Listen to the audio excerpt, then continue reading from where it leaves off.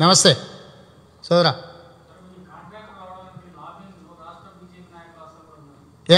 ఏం సోదరా? మళ్ళా చెప్పు.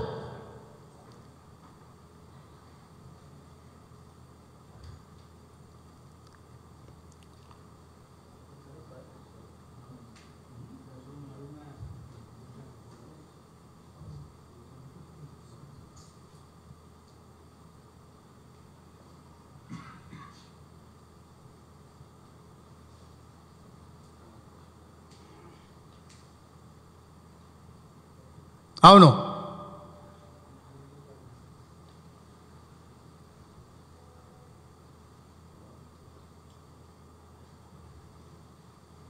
అంటే ఖచ్చితంగా ఇప్పుడు ప్రధాన ప్రతిపక్షం అనే పాత్రనే మేము ప్రశ్నించడం ప్రజల తరఫున.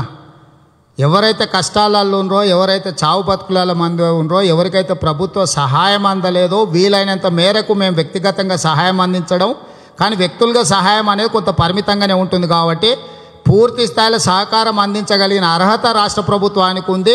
అన్ని రకాల అవకాశాలు ప్రభుత్వానికి ఉన్నాయి రాష్ట్ర ప్రభుత్వం కేంద్ర ప్రభుత్వం అనుకుంటే ఎంతో చేయొచ్చు పేదోళ్ళకు. కేంద్రంలో ముప్పై లక్షల కోట్ల బడ్జెట్ ఉంది. రాష్ట్రంలో రెండు లక్షల కోట్ల బడ్జెట్ ఉంది. ఇన్ని లక్షల కోట్ల రూపాయల నిధులు చేతిలో పెట్టుకున్న ప్రధానమంత్రి రాష్ట్ర ముఖ్యమంత్రి గారు పేద ప్రజల కోసం ఉదారంగా ముందుకొచ్చి వాళ్ళకు విరివిగా సహకారాన్ని అందించాల్సిన బాధ్యత ఉంది. వాళ్ళు అందించని వైఫల్యాలను ఖచ్చితంగా కాంగ్రెస్ పార్టీ ప్రశ్నిస్తుంది ప్రజలకు అవసరమైన సహకారాన్ని అందించే విధంగా ఒత్తిడి తీసుకొస్తుంది మళ్ళానా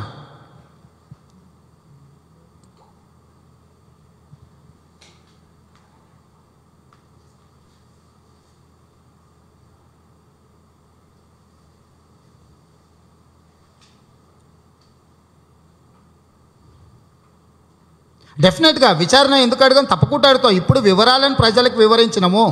ఇప్పుడు అన్ని లాక్డౌన్ నేపథ్యం నడుస్తున్నది. ఇప్పుడు ఏ విచారణ సంస్థలు కూడా పనిచేస్తావు పార్లమెంట్ కూడా పనిచేస్తలేదు. ఖచ్చితంగా వీటికి సంబంధించి పార్లమెంటులో కేంద్ర ప్రభుత్వాన్ని నిలదీస్తా ఏ అర్హతల ప్రాతిపదికన రాజేంద్ర ప్రసాద్ పాకాల సంస్థతోని ఐఐసిటి ఒప్పందం చేసుకుందో పార్లమెంటులోనే ప్రశ్నిస్తా నిలదీస్తా.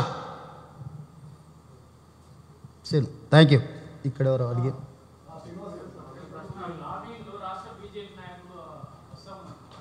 నేను రాష్ట్ర బీజేపీ నాయకుల హస్తం ఉందో లేదో నాకు తెలియదు. కేంద్ర ప్రభుత్వము సైన్స్ అండ్ కెమికల్ ఇండస్ట్రీకి సంబంధించిన మంత్రి గారి ఒప్పందాలను చేసిండు.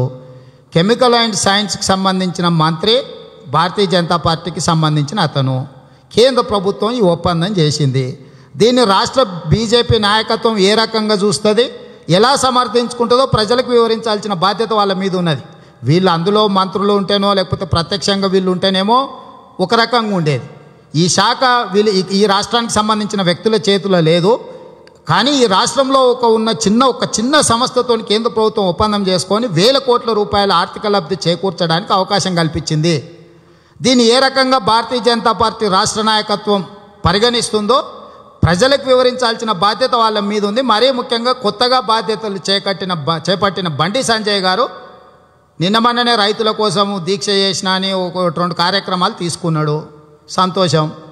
మరి ఈ కేసీఆర్ దోపిడీని నిలువరించడానికి ఏం కార్యాచరణ తీసుకుంటాడో చెప్పాలి. కొత్త అధ్యక్షుడు నిన్ననే బాధ్యత స్వీకరించిన బాధ్యత స్వీకరించినప్పుడే బండి సంజయ్ గారికి నేను విజ్ఞప్తి చేస్తున్నా. దీనికి సంబంధించి వారు ఏం మాట్లాడతారు ఏం చెప్తారు ఇందులో లోటుపాట్లు జరిగినాయా లేదా? లేకపోతే కేటీఆర్ బామారిది కావడమే రాజేంద్ర ప్రసాద్ పాకాల యొక్క అర్హత అంటాడా? ఏమంటాడో వాళ్ళు చెప్పాలి.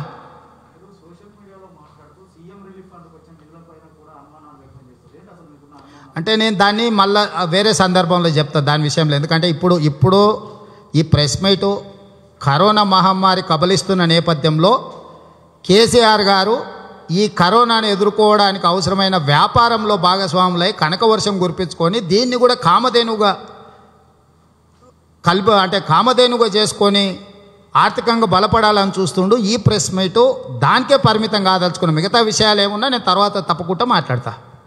అత్యవసరంగా అంటే ఇంత లాక్డౌన్ ఉండి ఈ మనం సోషల్ డిస్టెన్స్ ఇవన్నీ పాటించాల్సిన సందర్భంలో కూడా మిమ్మల్ని అందరినీ పిలిచి ఈ పత్రికా సమావేశాన్ని ఏర్పాటు చేయడానికి కారణం ఏంటంటే రాష్ట్రానికి రావాల్సిన రాబట్టుకోవాల్సిన వాటిని అన్నింటిని కూడా ఫనంగా పెట్టి వ్యక్తిగత ప్రయోజనము వ్యాపార ప్రయోజనం కోసం ఈరోజు బరితెగించారు కాబట్టి ఇది అత్యవసరం అనుకొని ప్రజలకు వివరించాల్సిన బాధ్యత నా మీద ఉన్నది కాబట్టి పత్రికా సమావేశాన్ని ఏర్పాటు చేసిన. వాస్తవంగా కరోనా లాక్డౌన్ నేపథ్యంలో వీటన్నిటిని కూడా కొంతకాలం మేము వాయిదా వేసుకున్నాం.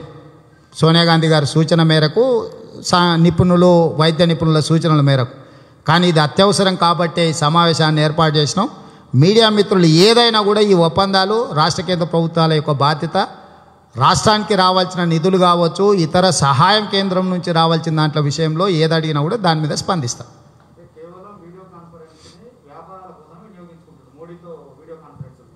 ఖచ్చితంగా ఇప్పుడు డాడీ మోడీతో చాలా మాట్లాడిండని కేటీఆర్ చెప్పిండు.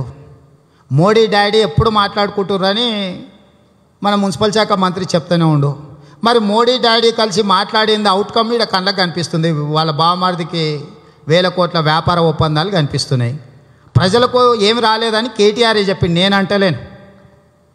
డాడీ చాలా చెప్పిండు మోడీకి ఆయన మోడీ మాకేమి ఇవ్వలేదు గన్ని బ్యాగులు ఇవ్వలేదు కొనుగోలు చేయలేదు మాకు ఏమి ఇవ్వలేదని కేటీఆర్ఏ చెప్పిండు.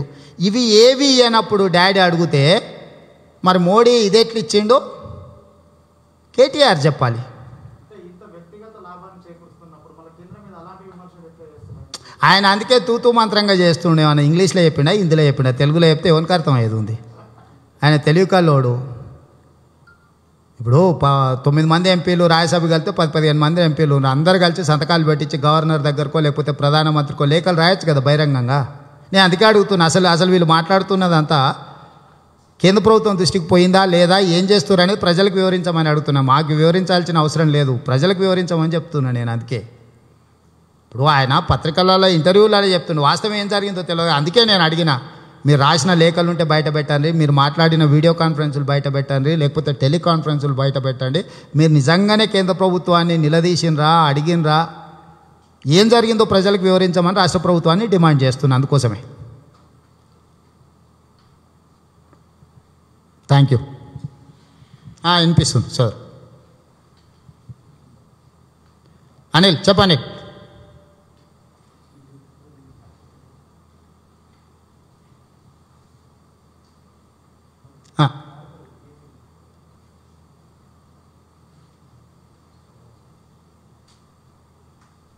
అవును.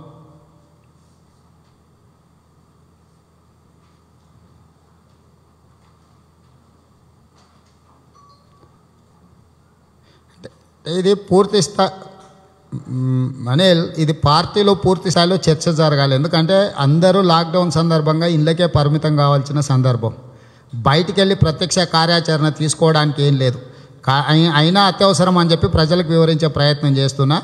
తప్పకుండా మీరు ఇచ్చిన సూచనలు ప్రత్యక్ష కార్యాచరణ కోసం కూడా పార్టీలో పెద్దలు ఉత్తమ్కుమారెడ్డి గారితో మాట్లాడి ఏం కార్యాచరణ తీసుకొని ముందుకెళ్తే బాగుంటుందో ప్రజలకు ఇబ్బంది జరగకుండా ఉండాలనో వీటన్నిటిని దృష్టిలో పెట్టుకొని కార్యాచరణ తీసుకుంటాం. ఏదేమైనా లాక్డౌన్ నేపథ్యంలో వాళ్ళు చేసుకుంటున్న వ్యాపారాన్ని మాత్రం ఇంతటితో వదిలేదు లేదు ఖచ్చితంగా దీని మీద పోరాటం చేస్తాం.